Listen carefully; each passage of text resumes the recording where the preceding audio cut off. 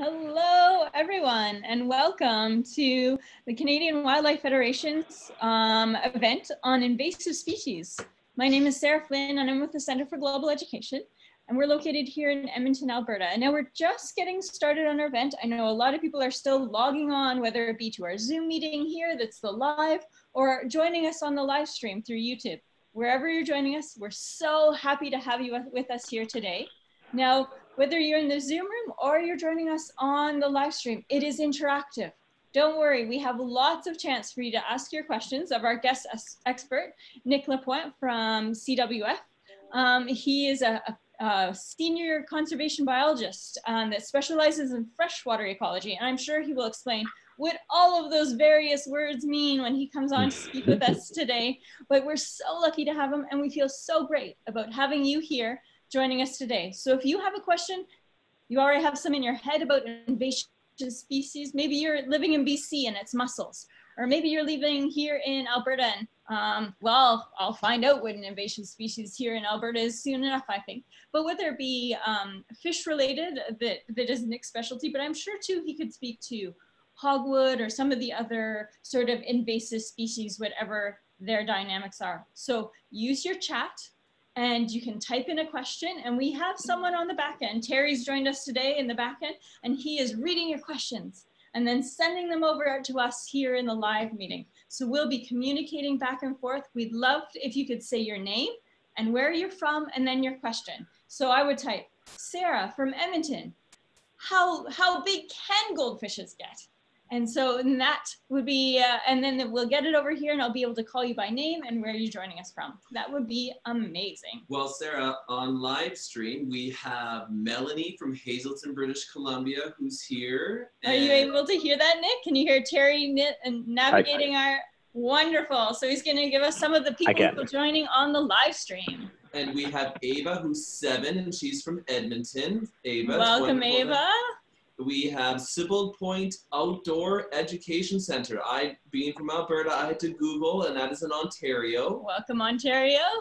And um, we have had, uh, we also have somebody here, uh, Mael, who's joining us from St. Albert. Wonderful. Mael, thanks for joining. So if you want your name, if you want a question said, just type it into the chat and Terry will be able to let us know. And I'm happy to, to say, oh, Mayel has this amazing question from St. Albert. We'd love to bring in your, your questions and your comments and, and let's hear what you're thinking about this topic today. So I am going to um, stop sharing and welcome you all officially today to our program. Uh, my name again is Sarah Flynn and I'm from the Center for Global Education, and that's based here in Edmonton, Alberta. And we are on Treaty 6 land, which is the, the traditional territory of the um, Cree, Saulteaux, Blackfoot, Métis, Dene, and Nakota Sioux. And we want to acknowledge all the many First Nations people who marked this land before us. Now, for all of our events, we do a land acknowledgement and it's a part of our reconciliation process here in Canada. And I think it's important as we, we talk about um, our land and the earth and nature and our relationship to the environment, that we also think about who was here on this land before us and what does it mean to be responsible stewards of our environment. Now, I had on that opening slide how big do you think a goldfish, like a pet goldfish that you have in your home, if you release it into the wild, into a lake, how big do you think it can get? I wonder if we have any guesses. Um, you can put in the chat what your guesses and we'll, we'll hit some of them. Terry, do we have any guesses? We do. Mael from St. Albert has guessed that they can get up to 50 centimeters. 50 centimeters. Oh, how any other, let's see if I, I can open my chat here as well. Oh.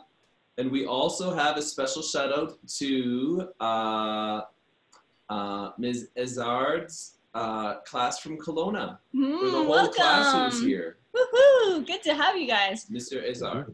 Well, so uh, where our going is 50 centimeters. Now, Nick, do you know how big goldfish can get in the wild? 50 centimeters is a pretty good guess. Uh. And I see a guess on there of six pounds. That's maybe a little bit bigger than they've been seen. um, but they can get to be several pounds or a couple of kilograms, uh, maybe four or five pounds. And uh, 50 or 60 centimeters would be a, a very, very big goldfish. Uh, like but when you see foot and a them- About a foot and a half. That would be about as big as they would get. Um, but it is pretty common to find them in the wild where they've been introduced, including where I was doing the research that I'll talk about today. Uh, you know, at around a foot or a kilogram in size. Um, the really interesting thing about these goldfish, though, is that when they get released in the wild and they start breeding with other goldfish, most of them lose that orange color, and the offspring end up brown, and they look a lot more like common carp. So you might have seen a goldfish in the wild, uh, but not realize that you were looking at a goldfish because it's it's just brown. Um, and part of the reason for that is the ones that are orange are a really favorite prey item for other fish and birds because they're really easy to spot. Whoa, So it's not really a good uh, characteristic to be bright orange when you're out in the wild. Um, my favorite goldfish observation on the Potomac River was watching a bald eagle chase a pair of osprey uh, and seeing the osprey drop what it was carrying, which turned out to be a big goldfish. And uh, the eagle swooped down in midair and caught the goldfish before it hit the ground. So the Oh, osprey saw the goldfish, the eagle saw that the goldfish that the osprey had the goldfish, and he wanted that snack. Wow, that's that would have been incredible.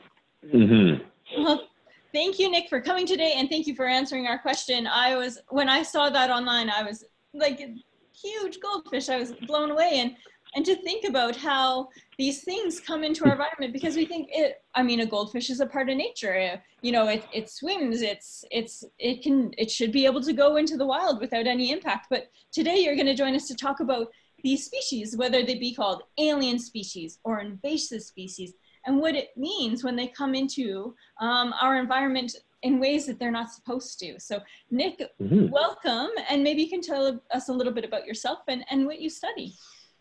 Yeah, sounds good. So I'm a freshwater ecologist. Uh, I've uh, mostly studied fish in my uh, adult career and uh, in school after uh, in university. Uh, and I focused a lot on the conservation of freshwater fish. So I've looked at the threats that face these fish and ways to restore freshwater fish habitat and populations. So wonderful. And how long have you been involved in the conservation community? Is this something you've done for your whole career, or are you? Um, I'd love to hear because you are a doctor. You have your PhD in this. hmm And and I hated school when I was a kid, so uh, I stuck with it for a long time to to get to that stage. Uh, but really started to like it once uh, once I got to graduate school um, after university and got to study the things that I was really interested in. Uh, so that was a big difference maker for me. I've been interested in conservation since I was a kid. I've always loved nature. I've always loved being outdoors, and I was lucky to be part of a, a kids uh, nature club called the Macoun Club. It's a junior version of the Ottawa Field Naturalist Club. When I was uh, a kid, I started in grade four, I think, uh, and um, learned, you know, so much through being a part of that club about uh, how how nature works and about these conservation issues. Uh, and I think, uh, you know, probably expected to have a career in conservation from that point on. So great because a lot of this the, the the youth who are joining us today are in that age range, grade two, grade three, grade 4 Mhm. Uh, I mean, this is open to everyone, of course, but um, we, I think that, well, I'm not. Uh, maybe I'll save this question to the end, but uh, but really thinking about what can these kids do now? Because, like you're saying, they could join clubs, they could do this, but what can they do now to help make a change the way you see it? But maybe we'll save that to the end because I think that's a Sure. great way to leave it. So, um, would you like to tell us more about steelhead trout? Uh, well, today I'm going to talk about northern snakehead, I guess. Or snakehead? Sorry. Oh, yeah, that's all right. Uh, those steelhead trout are both a, a species at risk in some places, and they're a, a non-native species in other parts of Canada. I think that's, Um, I think it's just I'm very common with that name. And so Sure. it was similar. And, and so maybe you can tell me even like how those, like, we, we think that because it's in trout that it must be fine to go anywhere.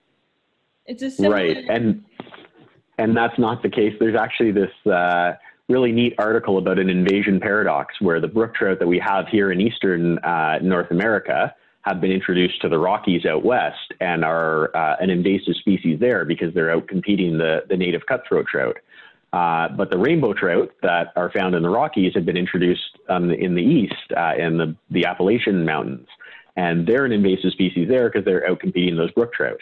And there's a whole bunch of reasons as to why. But uh, basically, what it means is that when we introduce a species to a spot where it's not native, uh, the, the consequences are, are really unpredictable. And uh, a lot of times, those species can end up being pretty problematic. Now, would you like me to share your slides or would you like to share your slides? I can do that. That way I can go uh, through them. Perfect. Uh, so I will go to as Nick gets started, screen. remember everyone that if you have questions, you don't have to wait till the end. You can type them in right away so you don't forget them. And then as they fit in, I can I can slowly interrupt or Nick will maybe take a pause to ask um to ask you a question or or to take questions as well. So as soon as you think of something, you type it in that chat, either on the live stream or here on the link. Off to you, Nick. Sounds good. So you can see my shared uh, presentation now? Looks Excellent. great. So I'm going to talk a little bit about invasive species in general and what invasion biology is as a, as a science. Uh, and then I want to spend most of my talk talking about some of the field research I did on one particular uh, invasive species, the northern snakehead, um, down in, in the US uh, about 10 years ago. Um, and that's that'll be a really great chance to show some pictures of these snakeheads and, and some of the neat things that I, I got to find out while studying them in the field. Um, so, you know, we've already talked a little bit about uh, invasive species. You know, the, the term, there's this term, there are many terms to describe invasive species. They can be called exotic species, alien species, uh, non-native or introduced species. And I think generally it's, it's accepted that not every non-native or introduced species is considered invasive. Um, some are introduced and they don't, uh, you know, tend to increase in population. They don't tend to have a big effect. You don't really notice them as a major part of the ecosystem.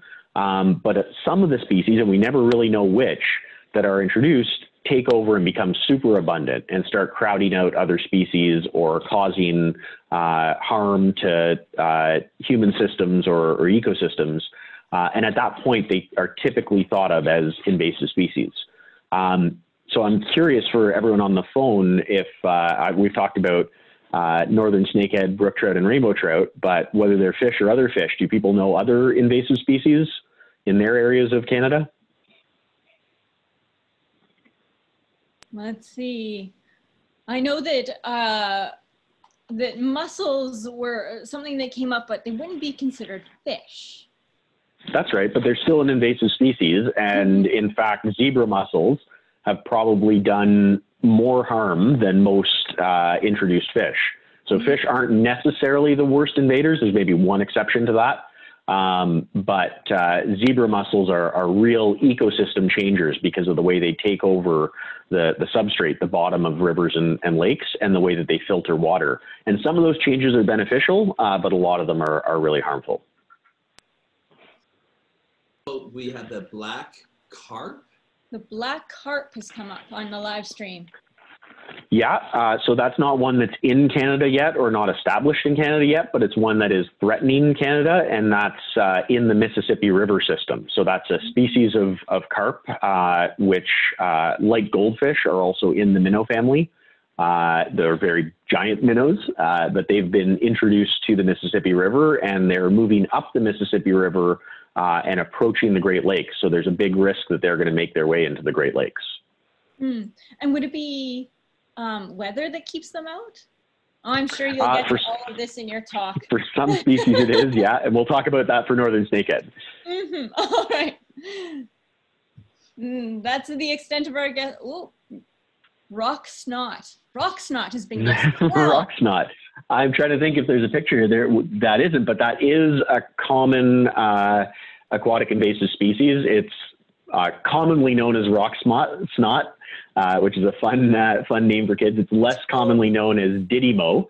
Um, I don't know if uh, maybe you want to pull up a picture to show later, but basically what this is is uh, an invasive algae that gets into stream systems. And it often gets transported there by uh, people that are fishing that are wearing boots that have a bit of that on the bottom of their boot. And then they walk into a new stream several days later and they introduce it to that stream. And it basically covers all the rocks in the stream with this long strand of algae that's kind of yellow and blobbish and looks a bit like snot and it makes it really hard to fish in that stream because your line gets tangled in it all the time and uh, biologists sometimes spread it, so we have to be careful too. Um, it's a lot like what we're dealing with with COVID. You know, when you go to a new ecosystem, you need to be careful that you decontaminate everything and don't bring something into that new ecosystem unintentionally. Oh, that's a great analogy. And mm-hmm. Brenda has one last guess, and it's that the Atlantic salmon and Pacific fish farms. Yeah, so they're uh, again another potential invader. Uh, we don't have a situation yet where Atlantic salmon have colonized any of the rivers in British Columbia, but that is a huge, huge risk. And we know our Pacific salmon in British Columbia are hurting right now. Their populations are low, they face a lot of threats. And the last thing they need is competition from uh, Atlantic salmon that might establish themselves in those rivers. And so every Atlantic salmon farm that we have on the West Coast that is out in the ocean and not in a building is a, a, a tremendous risk to our wild Pacific salmon. Hopefully that never happens. yeah. Oh, one last guess from the live stream. Miles said the round goby. The round goby, and I think, do we not have a picture? Oh, we don't have a picture of a goby right here. Yeah, so round goby were introduced into the Great Lakes um, much like uh, zebra mussels through the ballast waters of ships. So they got onto the big shipping, uh, the, the huge tankers that, that pick up uh, our cargo and our trade from Europe and come all the way across the Atlantic Ocean and up into the Great Lakes. And then they change the water in their tanks. And these little tiny gobies and zebra mussels got out into the Great Lakes. In fact, about 180 species have been transferred into the Great Lakes, and many of those through ballast water.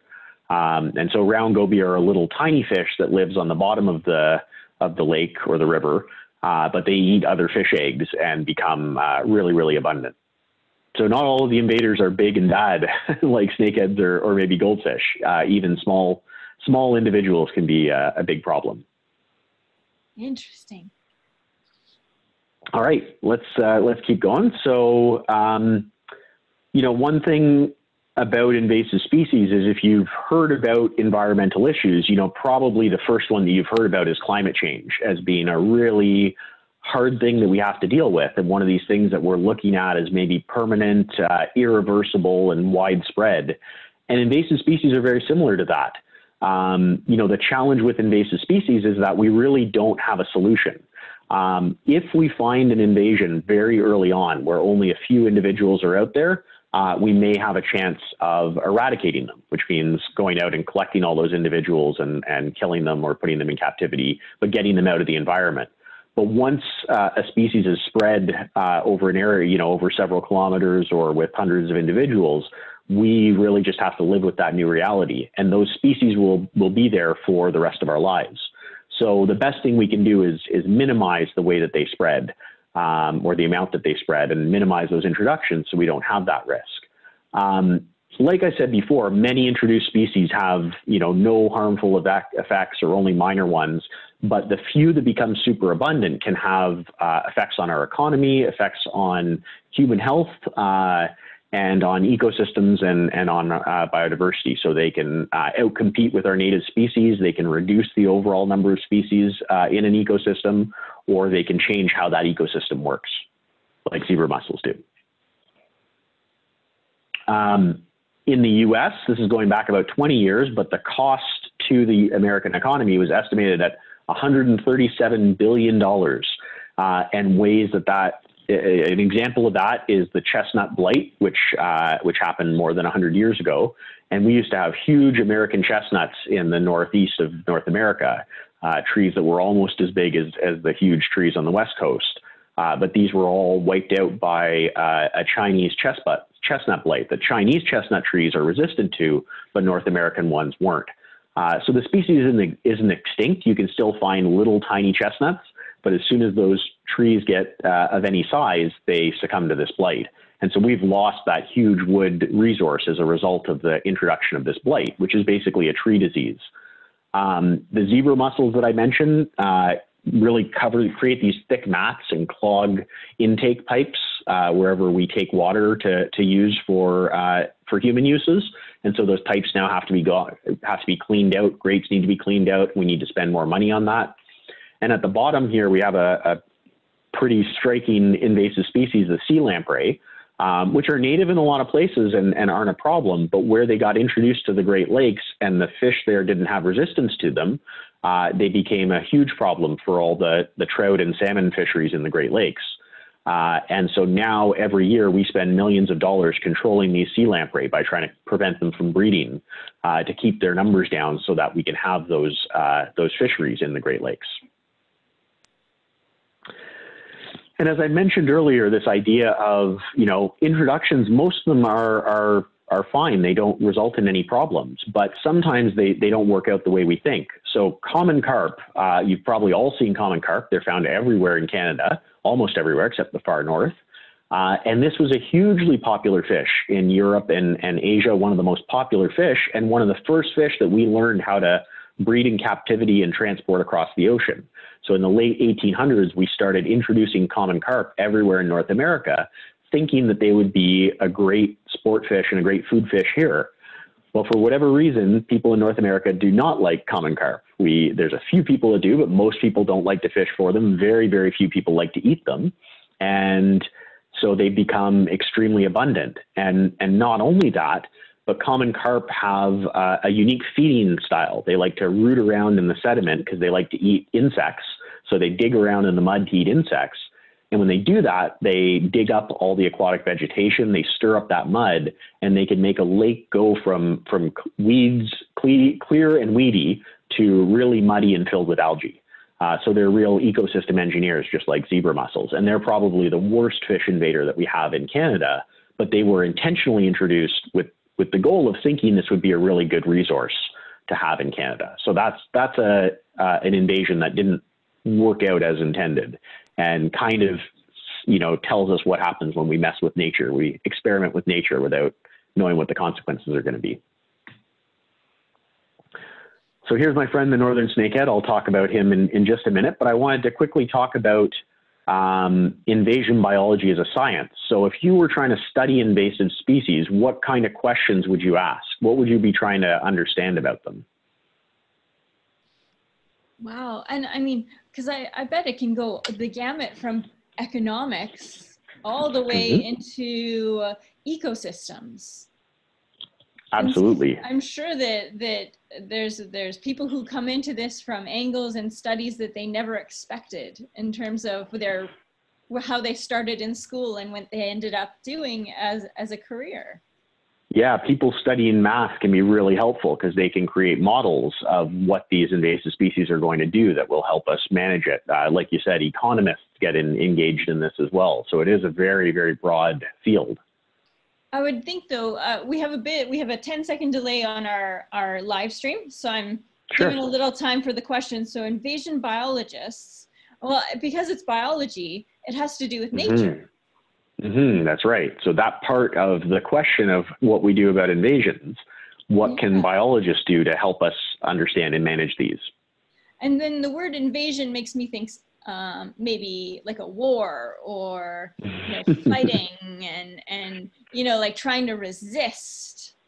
So I, mm-hmm. I'm trying to so yeah I guess would would be then more just the the biology of it or the wow there's a lot yeah, of so, stuff going on yeah, that's it. So invasion biology is really um, the study of, of non-native species in the ecosystems where they were introduced.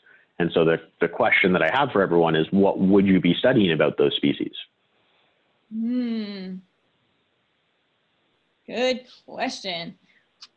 Well, we have some other questions coming around about how how it might invasions might actually occur. Mm-hmm. Hmm. Well, that's so that's one of the questions. Where they that's one from? of the questions that invasion biologists ask: is what are what are the pathways? What are the vectors? Um, because if we understand where these species are coming from and how they're being introduced, that gives us an area where we can uh, try to prevent those invasions from occurring in the first place. So some of the most common, now I work with aquatic invasions much more so than terrestrial. So freshwater invasions are their own type of invasion. And it's not really easy for a freshwater organism to uh, make its way to new freshwater bodies by itself because they, they are limited to those lakes or those rivers. They, they can't move over land to get to them. So typically, the pathways that we learn about or that we found is that uh, it's usually human activities. Uh, they can be hitchhikers, like the ones that, that climbed on the ships uh, and traveled from Europe to the Great Lakes. They can be intentionally introduced by people, like uh, goldfish, where people are uh, dumping them in the water because they have a pet that they don't want anymore. Um, you can have ones like northern snakeheads that are a food fish and that we think people bought in a food market to eat and then for whatever reason decided not to eat them. And so they put them in the water to, to let them go free, uh, which is a nice thing to do in theory. But the problem is it, it creates problems for many other fish other than the one you're releasing. Mm-hmm. Um, and then sometimes you have people that like to fish for species uh, that want to see that species uh, in their local lake. So they go out and find them and bring them and put them in their local lake. But again, that, that's like that Frankenstein effect. It can have a lot, have a lot of unintended consequences.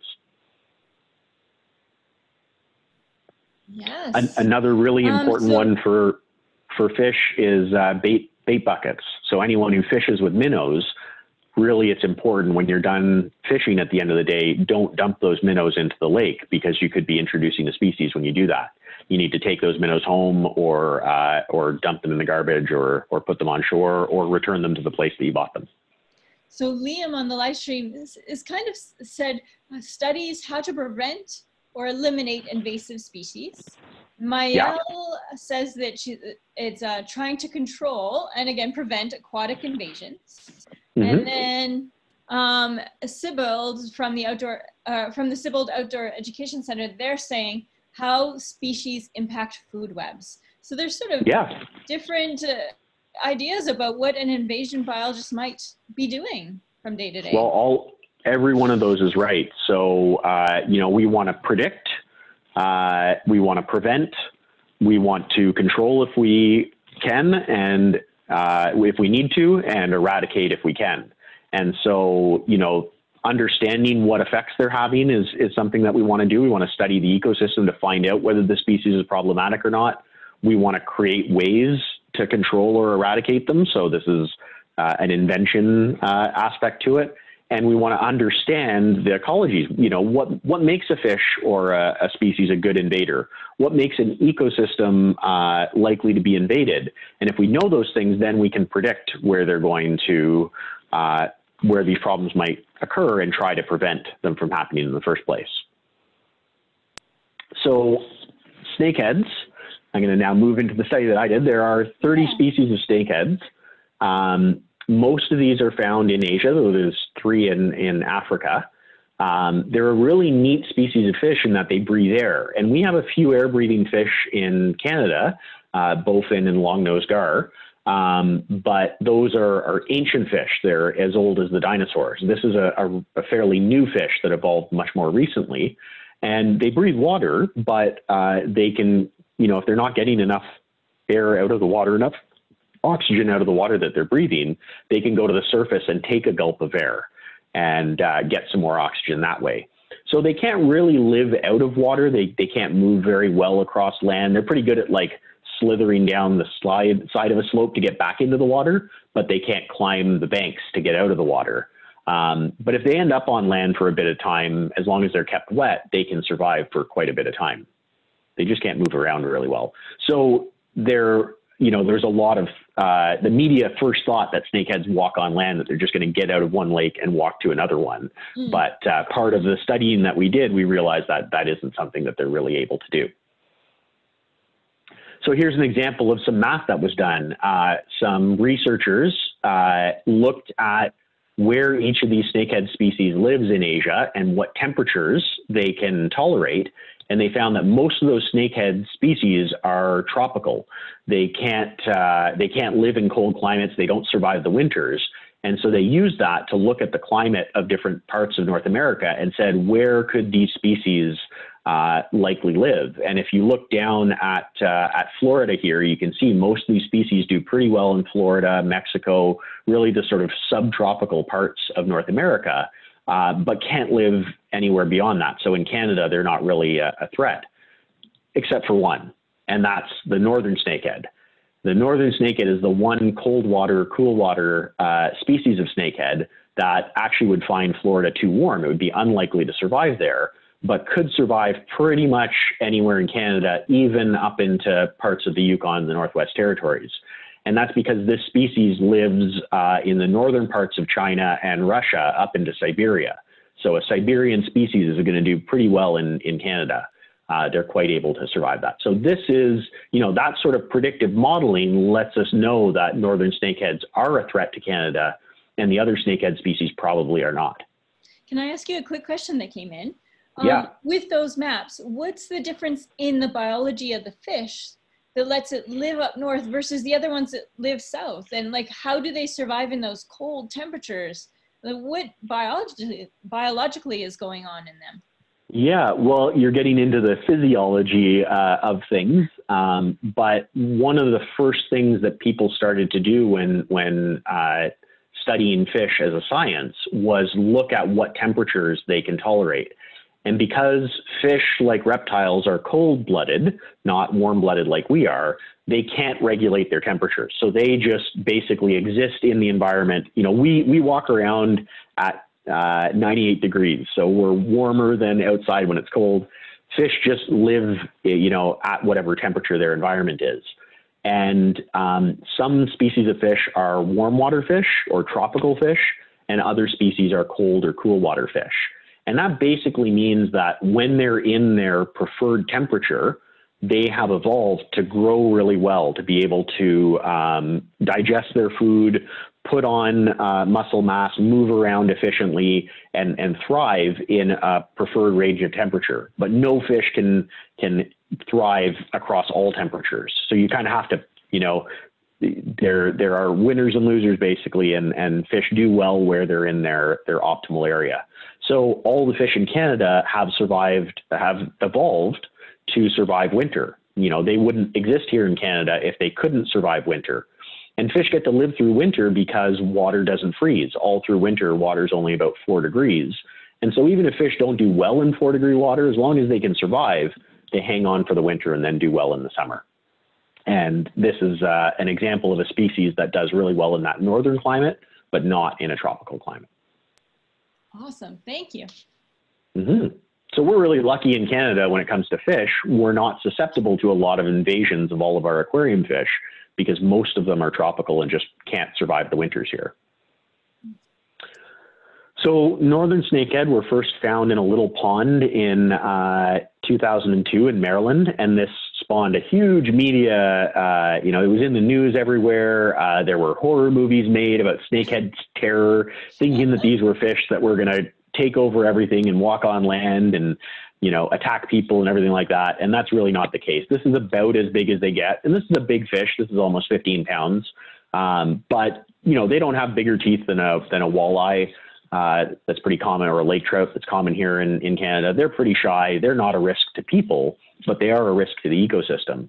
And the nice thing about being found in a small pond was that they were actually able to poison the entire pond and uh, get rid of those those fish.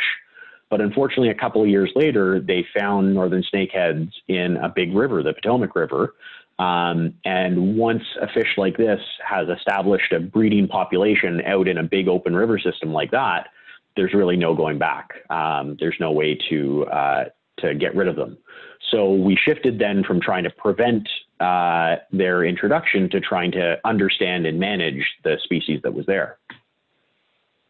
So for those of you who don't know where the Potomac River is, uh, it is down here near Washington, D.C. This is the river that goes right through uh, Washington, right by the Pentagon and, and the Washington Monument.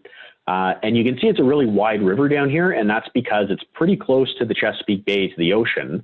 And this part of the river, until you get about to where it says Arlington there, is tidal. It's all fresh water, but the water level goes up by about three feet and down uh, three feet with every six hour tide. So this is sort of where they were first detected in the wild, and really within a couple of years, they'd spread to everywhere they could within this uh, this map. So um, we wanted to just get a basic understanding of this fish. It had never been here in North America. We didn't know what it was, what it would do, what it would eat. So we wanted to figure out, um, you know, and, and whether it might compete with or eat our native species. So we wanted to find out what they eat. We want to find out where they go in the river. Do they go down deep? Do they uh, live shallow in the weeds, in, in open water? Um, we want to know where they spawn because uh, every fish has a different spawning behavior. Some build nests, some lay their eggs out in the open. Um, we want to know if they move around a lot. Are they going to spread quickly? Uh, or do they stay really localized? Uh, some fish in rivers can move hundreds of kilometers and others stay within a few hundred meters. Uh, so we didn't really know anything about this fish and we wanted to learn what we could as quickly as possible to find out what this meant to have this new species in the ecosystem. So we collected fish using boat electrofishing and sometimes backpack electrofishing. And uh, this is a really neat uh, way of collecting fish. Uh, what it does is it shocks the water. And when you shock a fish, it's not like a human who gets shocked where uh, your heart might stop or you might feel a painful shock. Uh, with fish, what it does is it just stuns them. Uh, so they either go unconscious or they lose the ability to move. And because fish have a little swim bladder, they float up to the surface. And when you turn the electricity off, they wake up and they swim away. And uh, if you do it right, the, the fish are not harmed by this. So it's a really great way to go out and uh, you can shock the water, leave all the native species alone, and just take the snakeheads out that you want to study. Um, that said, it's still really, really hard. Uh, if we were shocking the water and we saw a snakehead, we were lucky to get about a quarter of them in the boat. Uh, the rest all escaped. So, uh, and, and we were lucky to get two or three an hour. So we really had to put in a lot of work to collect uh, these fish. and were you at risk yourself of being electroshocked? Uh, I'm trying no. to imagine so if you what look, this looks like. Yeah, that's right. Uh, so if you look here up the top, I mean, as long as you don't touch the water, um, then you're okay. Uh, when I was running the boat, I made sure that everyone was wearing rubber boots and rubber gloves, and uh-huh. that the nets that we use had a fiberglass handle, so none of that could be transmitted to us. Uh, you can see the uh, the game wardens, the biologists that work for the states down in Virginia, are a little less. Uh, they're a bit more like cowboys. They're a little less safety cautious, so they're not out there wearing any of that protective equipment.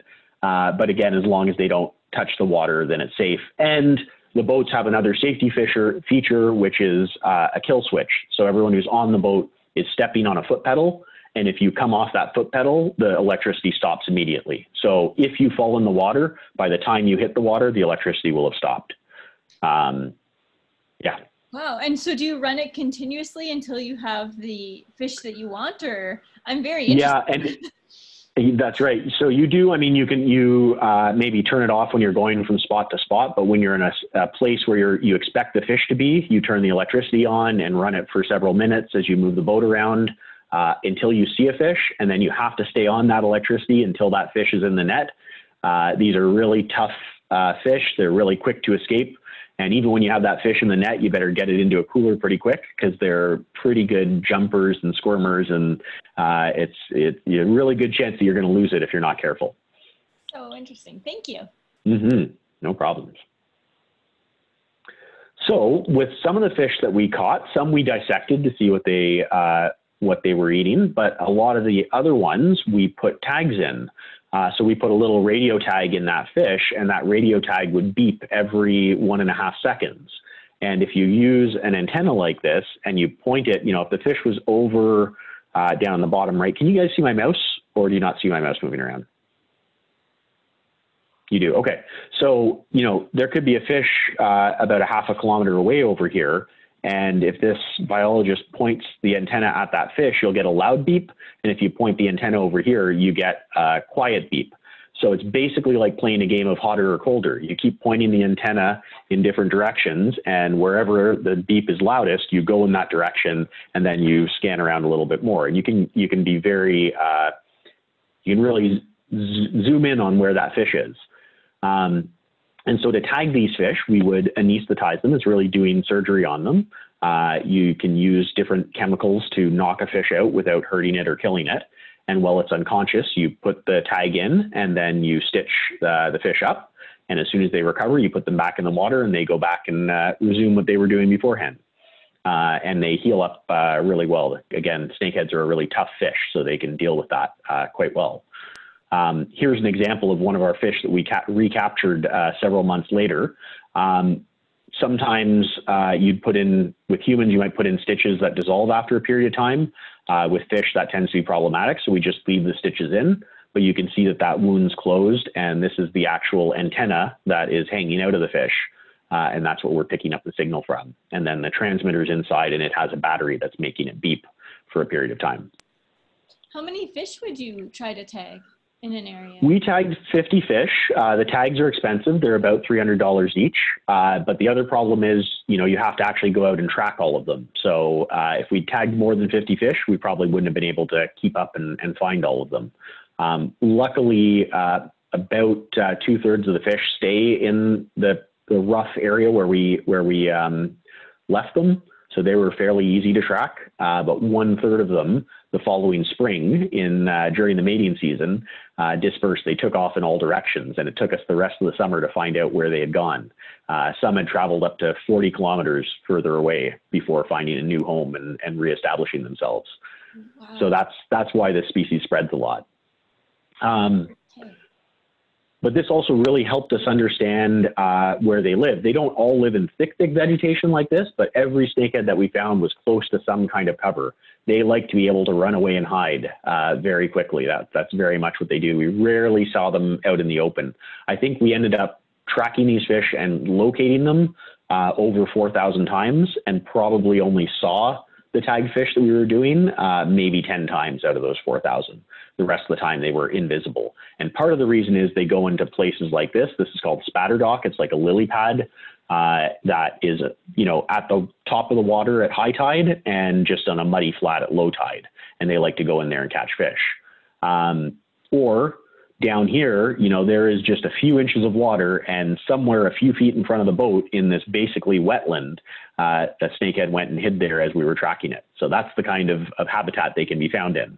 Um, but many other times we were just out in, in open water in maybe two meters of water below us, and they were just down near the bottom uh, in front of the boat. We also wanted to see what they were eating. Uh, we wanted to find out what time of day they fed and uh, what you know, are they eating fish? Are they eating frogs, insects? And does that overlap with the other species in, in the river system? Are there certain fish that they eat more than others? Um, and so what we would do is uh, for native fish like largemouth bass, we could uh, do something called pulsed gastric lavage. So that we basically were pumping water into their stomachs, and then they would throw up all that water along with whatever was in their stomach, like this uh, half digested sunfish down here. Um, and uh, so we were doing that for the fish, you know, the non-snakehead fish, because we wanted to release them alive. Uh, but snakeheads, because they were an invasive species, we weren't worried about releasing the ones unless they had a tag uh, back into the system. So we would dissect them, we'd cut open their stomachs, and while we were dissecting them, we would take other information on them, like we would we would measure. Uh, not we wouldn't count all their eggs, but we'd measure how heavy their eggs were we would pull this out here. This is an otolith, and this is uh, basically an ear bone for these fish. And if you look even closer than this, uh, otoliths have rings on them like a tree. So you can figure out how old that fish is by counting the rings on the otolith. So for every fish that we um, killed and dissected, we tried to get as much information from it as possible. And how long do uh, they usually live? Well, it turns out that snakehead otoliths are very difficult to read, so there is uh, a bit of debate about that. Um, they're not an extremely, yeah, absolutely. They're not an extremely long-lived fish. Some freshwater fish can live to be 100 years old. Uh, the best we could tell is most snakeheads are under uh, 10 years old. Um, but certainly four or five-year-old uh, fish, like this fish here, would be anywhere from three to five years old. So this is one of my favorite snakehead pictures. Uh, that is a pumpkin seed sunfish, which are native to Canada and native to the Potomac River. And uh, this snakehead had grabbed that sunfish, which was about as big a sunfish as it could swallow, and uh, was holding on to it until until it was dead. Sunfish have, if you ever, if anyone's ever gone fishing for sunfish, they have a lot of spines that they use as a, a protection against predators. Uh, and snakeheads don't mind that at all. We've seen them uh, swallow these sunfish backwards and just through the their the strength of their mouth just break all those spines so they could get the sunfish down their throat. Uh, but snakeheads uh, can't bite chunks out of fish; they have to eat fish whole. Uh, and so um, this was a shocked snakehead that was holding on to its dinner uh, even after it was shocked in, in our net and in the boat. Determination. So here's some of the things that they, yeah, here's some of the things that we eat. That's the sunfish that was in its mouth. So you could see some of the teeth marks there. Uh, they do have sharp teeth. I wouldn't put my hand in a snakehead's mouth, but if I did, you know, I would get cut. I wouldn't get my hand bit off. Um, here's a goldfish that I was talking about earlier that has that uh, no longer gold, but more of a brown color. Um, they did eat some crayfish, but that was a big difference between largemouth bass uh, that have uh, a ton of crayfish in their diet. That's like half of the largemouth bass diet. Snakehead mostly eat um, uh, fish because they have this upturned mouth because they go up to the surface to eat to, to breathe air. So they usually feed on fish that are, you know, in front of them or above them, whereas largemouth bass can more easily go down to the bottom and feed there. Uh, so this is a mummichog. It's a, a, species similar to a killifish that we have in Canada, uh, a black crappie that we have here as well, and a gizzard shad that's in the Great Lakes. Uh, this is a spot tail shiner, a minnow that we have everywhere in Canada, and yellow perch that are found uh, throughout much of uh, eastern North America. So these are some of their favorite uh, food items. They have a life cycle, so uh, you know they don't. Fish don't have spring, summer, winter, and fall. They have their uh, pre-spawning season, where after winter they're eating a whole lot and getting ready to to spawn. They're putting on as much weight as they can, uh, and that's you know sort of April until early June, and then all summer they're they're digging nests, uh, guarding their nests and guarding their young uh, until about mid September when they again go back to feeding really aggressively, trying to put on enough uh, weight to survive the winter. And then from uh, November until April, and water temperatures are pretty cool, they go into sort of a, a limbo period. They don't hibernate, they will feed in the winter, they'll move around, but they are way less active during that period. Um, and again, because fish deal with temperatures, you know, the seasons are really when the water temperatures hit these thresholds, they shift from one season to another. Um, we didn't know much about where they nested. Uh, what we read about them was that they spawn, they dig a nest where they clear vegetation, uh, but also that they lay floating eggs and guard them. And that didn't make a lot of sense to us because we didn't know how you would guard floating eggs. Wouldn't those eggs just float away? So we spent all summer tracking these 50 tagged fish and, and shocking fish and so on, looking for snakehead nests and looking for something like this, you know, a cleared patch in vegetation. These are actually two snakeheads. One of them's tagged, this one over here is tagged, that I sat on the rock and watched the two of them doing some kind of spawning dance, uh, circling around. They weren't spawning, but they were obviously courting, but I didn't see any sign of a nest. So we really just couldn't figure out um, where they spawn, and, and they're reported to maybe spawn multiple times in a year as well. And you know, we did see all these signs. Here you can see a very fat pregnant female. She's full of eggs. Uh, you can see their cloaca, which is uh, where they both poo and pee and reproduce out of. Uh, fish and lizards and birds all have that. Um, and this is the female versus the male, so you can see that big difference. You could see the uh, the males have a lighter belly but are darker overall. You know, we got to be able to tell from looking at enough of these fish whether or not that was a male or a female without uh, cutting it open to check. We saw that the males had these big scars, and it's because they're clearing that vegetation. So they don't have hands. The only way they can clear all this aquatic vegetation is by swimming aggressively against the mud or the sand and uprooting that vegetation. And it puts quite a toll on them uh, when they're actively digging nests like that. So the females have to put a lot of energy into producing eggs, and the males have to put a lot of energy into building nests. We knew that they were spawning because we would see these females with really, you know, with developing eggs here in the middle. Uh, at the top, these are like really uh, eggs that are ready to go. This is a female that's ready to spawn and down at the bottom, you could see the ovaries of a female that had already spawned. So she's gotten rid of all of her eggs. Uh, and we would see that starting in about June, um, that there'd be this big change, but we still couldn't find these nests. And finally, the last week that we were out there in August, I had to go back to start school in the fall. Um, but we were tracking one of our tagged fish, and we noticed this. And we noticed this little patch of yellow uh, that looked a lot like the eggs that were in our snakeheads on top of this little mat of floating vegetation uh, on the side of a little tidal canal. And we looked a little closer at it, and you know this really stands out when you see this this little pattern of eggs. Uh, and when you zoom in on it, that's the background I've been using. These eggs all stick together and just sort themselves into this two-layer pattern like this. Uh, it kind of looks like a beehive. It looks a lot like a beehive, and uh, it's actually really quite quite pretty uh, and I wish I had a better camera. Um, but this was a really neat thing. I ended up uh, taking the first week off of school and I studied this nest for two weeks to see how it would develop. So I would go back to that nest uh, every day for two weeks and take pictures, take notes. Uh, when the, the young hatched, uh, I would collect a few each day uh, so we could look at how they developed.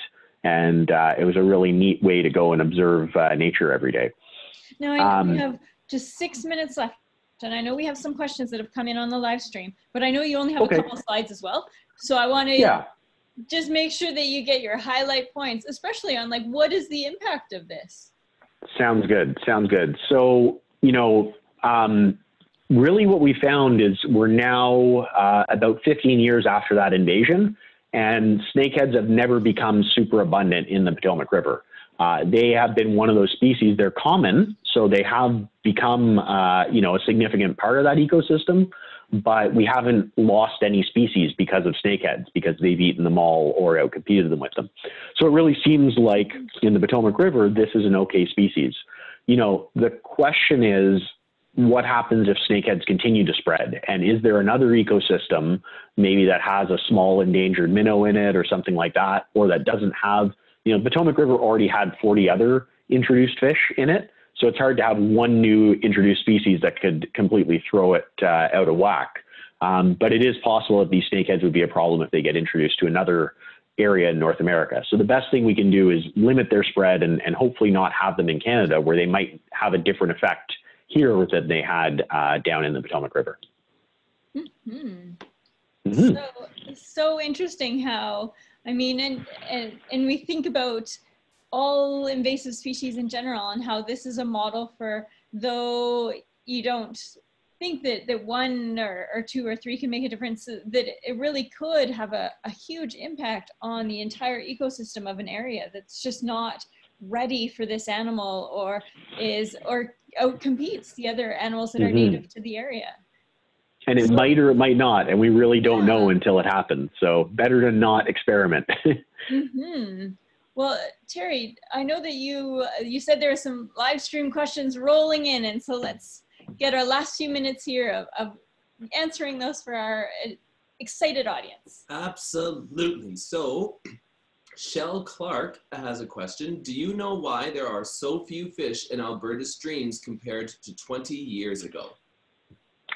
Uh, I guess it depends on the species. Uh, there probably um, isn't fewer fish overall, but if you're a fisherman, there might be fewer trout or target species uh, compared to before. And that could be because of harm to the habitat uh, as we, you know, create parking lots and uh, and farms and so on. If we don't do that properly, it can really cause the the habitat to change in those streams uh, or it could be because of too much fishing.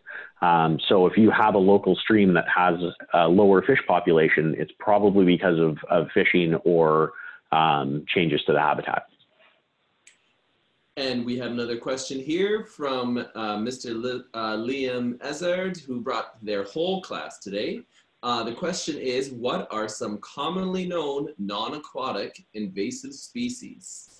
Yeah, so uh, you're you may be asking the wrong guy here, but purple loosestrife is uh, is a common one. Uh, common reed or Phragmites is another one.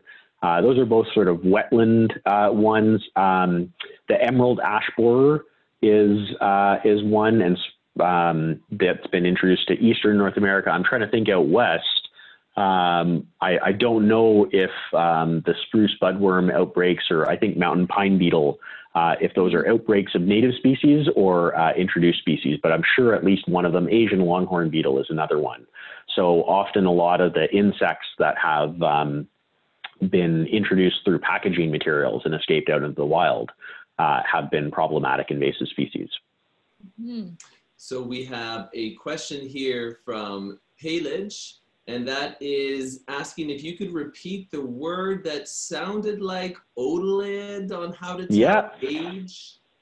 Yeah, that was perfect. It's otolith. So O T O L I T H, otolith. And it's an, an ear bone that basically floats in the fish's ear cavity, and that's what they use to hear. So things bounce off that uh, into receptors in the fish's ear and allows them to hear sounds underwater. Uh, and it just happens to grow because fish grow, as I explained, they grow when the water temperature is good. So they grow a lot in summer and they grow a little bit in winter. Uh, and that creates these, these rings of fast growth and then slow growth. And so if you count those rings, each ring usually represents a year. And we have one last question, Sarah, and that right. is: why are the tags for the fish so expensive? $300? yeah, uh, and some tags can be even more expensive than that. Uh, because they, you know, what you need to do is create a little computer in that tag that is uh, using the battery and and signaling the radio transmitter to transmit that sound. Uh, and so there's a whole bunch of little components, and they have to be made really tiny. And the tinier you make things, the more expensive they are. Um, but they have to be made really tiny so that the tag actually fits in the fish without uh, affecting its behavior. Um, it's it's too bad they're that expensive, but uh, yeah, that's that's the reality. Well, it's already been an hour, and I know that we have more questions that are coming in online, and I wish we had time to get to them all, but but I did start with one, and I think it's an important one for everyone who's watching. And what can you do now, whether you're a youth or whether you're an adult, whether you're a teacher, whether you're wherever you are in Canada or across the states? What can you do now to help prevent invasive species or address invasive species that are already in your community? Well, I think the best thing you can do is make sure that you don't uh, release any uh, animals or species that you have. Uh, so if you have any pets, uh, make sure they don't go into the wild. If you can't keep them anymore, uh, find someone else to take them or bring them to an aquarium store or a pet store uh, but don't release anything into the wild like that. Um, if you are going from one ecosystem to another, hiking in one forest and then another forest, or uh, wading in one stream and then another, uh, or bringing your boat from one lake to another, just make sure you clean off all your gear uh, and do a lot of what you're doing right now to, to stop the spread of COVID. Do the same sorts of things to stop the spread of uh, invasive species. Uh, so there's a lot that every person can do to make sure they don't contribute to this.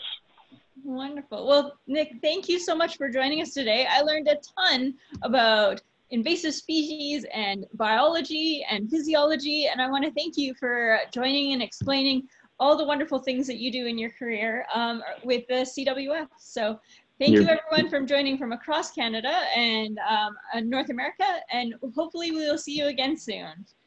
Bye, everyone. Thank you. Bye.